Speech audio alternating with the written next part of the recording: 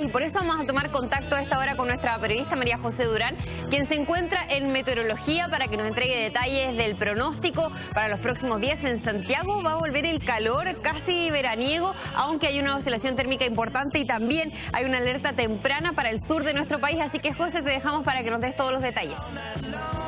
Muy buenos días eh, desde Quinta Normal. Está helada la mañana, eh, casi 7 grados de mínima eh, vamos a tener en la región metropolitana, pero para que nos explique con más detalle tenemos con nosotros a Leonardo Díaz, él es el meteorólogo de turno. Buenos días. Buenos días. Bueno, estamos ahora mismo con mucho frío, pero hoy durante la tarde va a hacer mucho calor en la región metropolitana, ¿cierto? Sí, pues la máxima de día es estimada de 27 grados, pero el día más caluroso para Santiago sería mañana, que estamos esperando 29.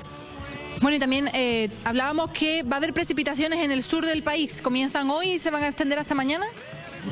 Hoy día está en la región de Magallanes, principalmente con precipitaciones, pero lo más importante es que hay viento significativo en la zona de 80 a 100 kilómetros por hora. y a partir de mañana, sí, Perdona, en el tema de Santiago, este, este sol, este calor, ¿se va a mantener para que nos preparemos para el fin de semana o van a volver, como hablamos, con pie las temperaturas normales ya para mayo, en fin?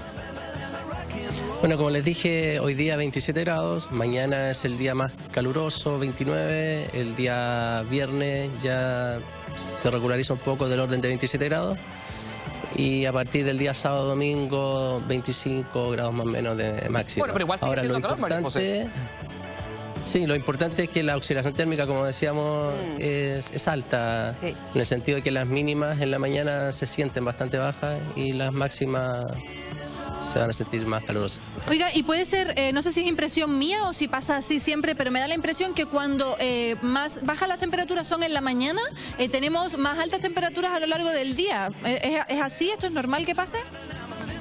O sea, en esta época del año sí. lo que pasa es que las mínimas son más bajas cuando el cielo está despejado, por la pérdida que hay de calor durante la noche.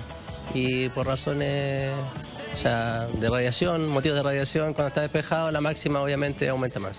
Entonces, este tiempo un poco loco de mínimas muy bajas y máximas bastante altas, ¿podemos esperar que se extienda eh, un poco más en el mes de abril y hasta mayo o esto ya va a frenar? Bueno, a medida que se acerca el invierno esto va frenándose, eh, la oxidación térmica va a ser menor, pero es muy característico del otoño, mañana fría y tardes calurosas. Bueno, pues ya saben, abríguense en la mañana, hace frío en Santiago.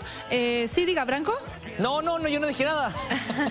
Está ahí bien abrigadita con los guantes, te veo, José. Muy bien, porque no queremos que te ande resfriando como nuestro editor Ricardo Asáez, que ya está ahí bien resfriadito, yo creo que con los efectos de la oscilación térmica. Muchas gracias, José, y también ahí al meteorólogo que estuvo conversando con nosotros. Buenos días. Buenos días.